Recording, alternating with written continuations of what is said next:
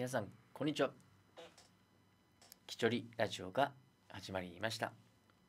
進行を、えー、務めさせていただきますのは、えー、井村豪と申します、えこのきちょりラジオでは、え2つの大きなテーマについてお話をさせていただいております、え1つ目が、えー、きちょりごとについてのお話をすると。え、そして2つ目が日常とは少し変わった、え、非日常的な出来事についてのお話をすると、ま、いう流れで去年の2月から、え、このラジオを行っております。まあ、きちょりことと言いますのは私が書いた本です。自分で勝手に一つのテーマを決めてそのテーマについて自分の意見を、まあ、A4 用紙原稿1枚程度にまとめると、まあ、そのテーマが100個集まりまして100個のテーマを冊子にしたもの。それがまあきちょりごとと、まあ、自分で読んでおります。えー、2つ目が非日常についてのお話をすると、まあ、特に私は学校現場に勤務しておりまして、えー、高等学校に勤務をして丸13年目を迎えております、まあ、石垣島の高校で5年あ4年です。すいません。ちょっと持ってしまいました。そのそれ次は、え名護市内の高校で5年。これは合ってます。そして今はこの浦添の住所であります、まあ、高校で、え4年目と。454ですので13年。高等学校に携わっていると。まあそんなえー、日常の連続？連続すぎて何曜日かわからなくなるぐらいな日常、えー、そんな中少し変わったあ非日常。な出来事、えー、が起これば少しは学校もまあ行ってもいいかなぐらいな。気持ちに生徒たちもなるのかなと。まあそんなこんなでその非日常を求めて日々を過ごしております。その2つの大きなテーマを柱に、このラジオ番組を進めております。まあ本当に教育関係のお話もたくさんしてきましたし、まあ、選挙のお話とか、まあ、ゲストさんにゲストの方に来ていただいてお話をするとか、まあ、先週はあジュースの話とか、え今日またちょっと教育関係のお話でやっぱり教員が圧倒的に少ないと。人数が。なのでまあ文科省もえー、いろいろ対策なり努力をされているということで教員資格認定試験という試験も行っていると。この試験は、教員資格認定試験は広く一般社会に人材を求めもう教師員が足りないですから教員の確保を図るため大学などにおける通常の教員養成のコースを歩んできたか否かを問わずをもう大学で教員養成を取ってなくてもいいと。教員として必要な資質能力を有する。すごいですね。これを有してるか有していないか。認められたものに教員への道を開くために文部科学省が開催している試験ですと。平成30年度から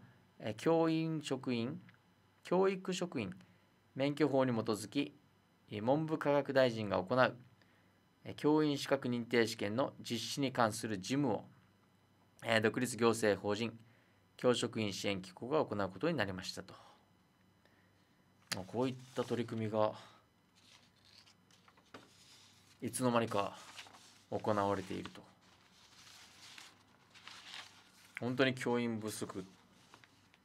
ずっと、まあ、最近もヤフーニュース等で叫ばれておりますから、えー、まあそれと同様に教育に関することで免許更新制やっとですね7月1日1日に廃止と教員が自主的研修 ICT や障害課題に対応と、え、教員免許の有効期限を10年と定めた更新制がこれ7月1日ですね。1日に廃止され自主的な研修により教員の質を担保する新制度が導入されると。更新時の受講を義務付けた30時間の講習は国の教育政策や法改正の動向など総論的な内容が多く ICT 学習や障害児対応といった現場が直面する課題に十分対応していなかったと気づいていただきありがとうございます。だいぶ時間は経ちましたけれどもだいぶ時間は。廃止に伴い来年4月から教員が地域の実情や自身の関心を踏まえて研修を受ける仕組みに変更。新制度が指導力向上につながるかが問われると。やっぱ問われますね。新制度では校内や自治体国の研修大学や企業のオンライン研修などから教員が必要と考えるものを受ける多くの教員はこれまでも勤務時間内に校内や自治体の研修に参加しておりえー、まあ、負担が大きく増えるとは思わないと、まあ、話すと。うん。学校長会の方が。まあ、新制度の下で、え、教員の指導力を向上させるには、え、学校によるきめ細かいフォローアップが欠かせない。校長は各教員の研修履歴を把握し、今後どんなものを受けたらいいかアドバイスをする役割を担う研修を受けない教員や受けても指導力が不足する教員には職務命令で研修を受けさせることもできる。なるほど。なるほど、まあ、自分で選べると。確かに校内でこの10年ごとの研修以外で毎年校内研修というものがもう月に月には違います。2ヶ月に1回なり。それぐらいで行われております。情報に関すること生徒指導教育関係特別教育まあさまざまな研修実際学校現場で行われておりますので、まあ、それにプラスアルファ研修していくと。これが10年に1回。まあ校内でできるという分にはまあいいのかなと、まあ、あとはその内容を自分で選んで受けると、うん、この免許更新制がついに廃止になったというニュースでした。えー、もう一つ琉球新報さんが、出している、まあ、去年の記事なんですけれども、えー、まあ、ブラック校則と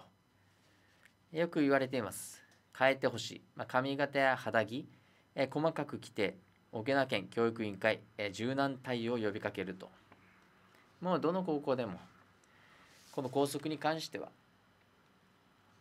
まあ、毎年行われます生徒総会でも議題にも上がりますし、まあ、絶対不平不満はあるのかなと、えー、学校の校則を変えてほしいです。下着を、え、白にする指定下着を白に指定するのが本当に気持ち悪いですと、えー、リューチャンネル取材班に読者からそんな声が寄せられた。これすごいですね。学下業種に指定する、え、学校生活を送る中で児童生徒が守る必要がある校則。髪型や肌着の色など細かく規定されている学校もあり、まあ、児童生徒や保護者から戸惑いの声が広がっていると。まあ、学校では本当に、あ、特にこの工業系だったり専門系の学校は就職に直結で結びつきますので、まあ、就職の際の面接この面接の時に、まあ、相手にやっぱり好印象与える清潔感大事ですので、まあ、そういったところで、えー、面接でも自信を持ってまあもう次の日面接でも行けるような、まあ、格好で行くと。それが全てかなと。肌着だったり何だったりその中身はそんな関係ないのかなと。その色まで指定するのはちょっとまあどこか分かりませんが、まあ、違うのかなと。あ中学校ですね。これは。沖縄県内にある中学校の校則には、えー、肌着の色は、え、白を基調とし制服やジャージ、えー、体育着などにフルネームを刺繍する。すごいですね。まあなくさないためですかね。まあ自己管理ができれば、え、いいのかなと。と定められている、えー、髪型は、えー、女子生徒はショートカットが望ましい。まあロングでもいいのかなと。髪を結ぶ場合はお団子禁止。まあ団子も可愛いかなと。男子生徒は後ろ髪が襟につかない程度にする。まあ熱くない程度に。男女ともに髪染めやパーマ2ブロック禁止。まあこれよくありますね。もう2ブロックなんて本当わからないですから。どこのラインがそうだとか。まあそれが本当にあまりにも奇抜で、まあ、奇抜っていう言葉にも人それぞれ個人差がありますので、まあ、やっぱり行き着く先はこの面接のところにゴールになるのかなと。まあ、あとは親が判断してやればいいのかなと。まあ、髪染めだったりパーマであったりこの辺りも難しいところでまあもうもともと地毛が茶色っぽい生徒もたくさんいますしまあ日焼けじゃないですけれどもそれで茶色くなったり、まあ、この辺りは本当に学校としてはまあ私が個人的に思うのはそれぞれ人それぞれいろんな、まあ、特徴があり個性がありただ学校としてはそれをえある程度のところでやっぱり決めないと。結構これは個性を中心にしすぎるともう何でもありじゃないですけれども。でまたこういうまあ身だしなみなり、えー、個性がある生徒、まあ、茶髪金髪。まあ経験あくまで経験上ですがほとんどそっちに向かうんですね。要するにファッションだけにこだわりを中心にこだわりもう勉強どころか。ただもうファッションを磨く。あじゃあファッション系の学校に行ったらと。別にこういった高校に来なくても。っていう生徒が大半で。もう見てきた生徒たちはやっぱもうそっちの方に流れて。ほとんど、えー、まあ部活であったり資格であったりそういったなんか自己自分の技術を磨くよりも自分の外見をひたすら、まあ、磨いて、まあ、アルバイトでそういった、まあ、磨きに力を入れてそれでしたらもうモデルの仕事であったり最初からそっちの方面に行った方がやっぱ学校という場所は最低限やっぱり学びの場所でやっぱ最低限のこと学びますし社会に出て必要な最低限のまた技術を教えますしそれを身につけてほしいという感覚でいますのでまあ、違うところに興味がある生徒は全然進路変更でそういった違う道を歩んだ方がその子のためかなと。まあ、だこうだ言われて、また指導にかかって、で、吸った、あ、まあ、吸ったもんだ、とか、また学校不振とかなって、まあ、ずるずるいくのも良くないですから、両方にとって。本当進路変更して、そういった自分磨きの道に進んでほしいなと。全部が全部悪いわけじゃないかもしれませんがやっぱ学校のこの集団生活ってある程度の決まりはないと何でもありの状態だと崩壊するのかなと。これはでも本当に細かすぎる規定がやっぱ学校で違うっていうのはどうかなと。えー、違反した生徒は保護者に連絡され、えー、一度帰宅して身なりを整えて再登校する、えー、反省文を書くことを求める学校もあるという、え県教育庁義務教育課によると、え学校で、まあ、安心安全に、え過ごすための決まりとして、え校則を定めているというまあやっぱりある程度のルールなり設けると。え担当者は肌着を城に規定するのは学校長の判断になる。すごいですね。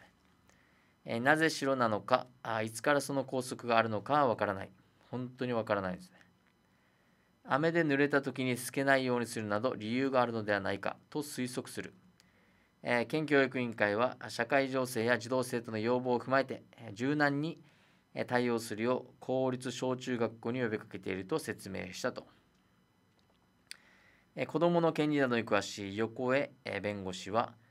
髪型や服装など校則で子どもの人権を制約する目的は何かを学校は考える必要がある。まあ、基本的に学生は自由だ。まあ、自由の範囲や自由は責任が伴うことを教えることが重要だと指摘する。まあ、責任が確かに伴いますし、まあ、大学は本当自由ですから、まあ、そういった社会人になる上での自由さっていうのもあるのかもしれないです。まあここは小中もそうですがやっぱりある程度決めておかないとどんどんそこからちょこっとしたところの抜け道から生徒は抜け出していけますので、まあ、何しに学校に来てるかです。それが全てかなと。まあ、この教育に関することをちょっとお話しさせていただきました。まあ、教育現場に勤めておりますので。で、今日、また基調ごと、えー、前回同様に、えー、お話ししたいなと。ちょっと、まあ、小中高大、大学の、話で、えー、大学で、まあ、本当以前私は喋ったように歌を自分で作るのが好きで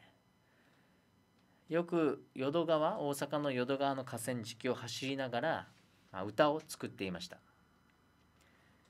その歌、まあ、5曲ほど作ったんですけれども、まあ、最初に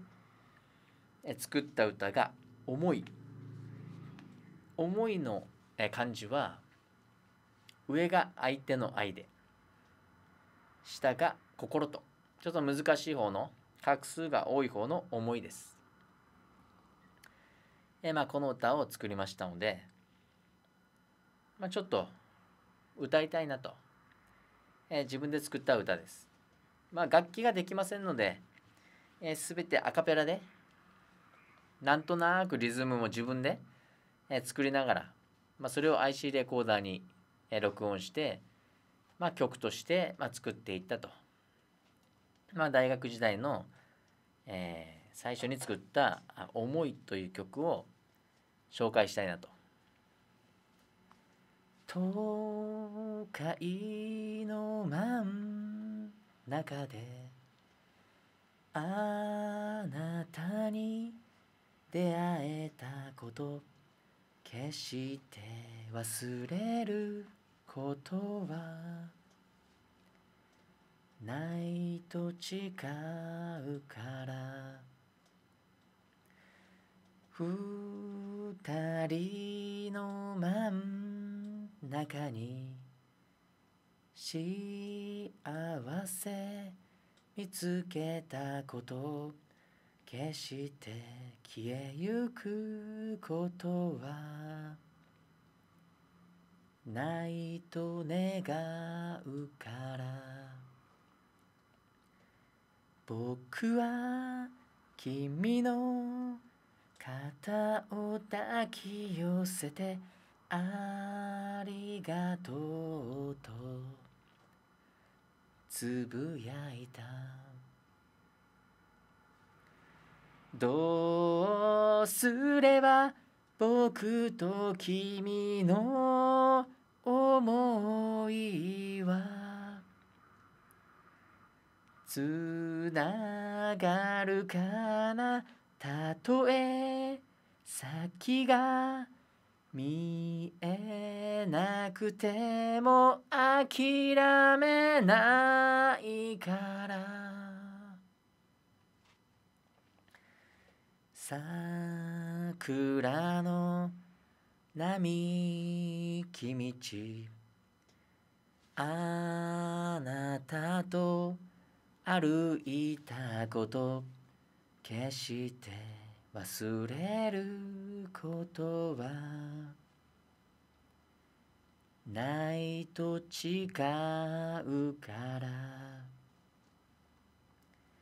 花見の帰り道笑顔に出会えたこと。決して消えゆくことはないと願うから。君は僕の腕をすり抜けてさようならとささやいた。いつまでも僕と君の思いを残せるかなたとえ人に笑われても諦めないから笑ってよ僕と君の思いが。離れる時たとえ光が見えなくても輝きたいから。涙なんて見せないと。君はバスへ乗り込んだ。この場所でもう一度。会えることを信じる。という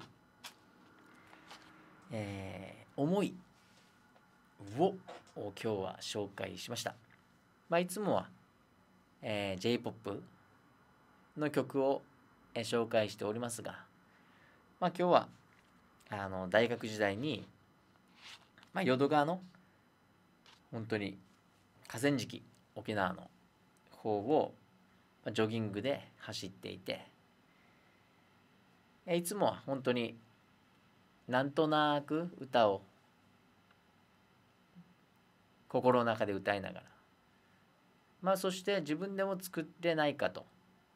思って。でまあこの思いのサビができ「こんどうすれば」というのができて、まあ、じゃあちょっとメロディーを、まあ、考えて。で、えー、1番2番をまあ、作って。まあなんちゃってではありますが自分でまあ歌を作ることができたと、まあ、その、え、歌を今日はあ紹介しました、え、また今後も、まあ、教育現場で勤めておりますので、ま、教育の関連の、まあ、ニュース等を、まあ、中心に、え、またきちょりごと、え、そして非日常な出来事についてお話をしていきたいなと思います。明日からの一日が皆さんにとって幸せな一日となりますように。えさようなら。